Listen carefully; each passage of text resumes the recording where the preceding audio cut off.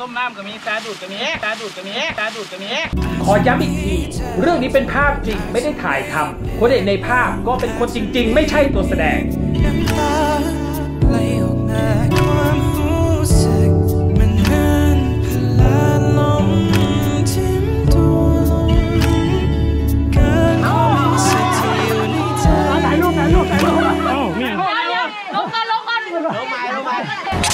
เห็นอย่างนี้แล้วไม่รู้จะเรียกอะไรดี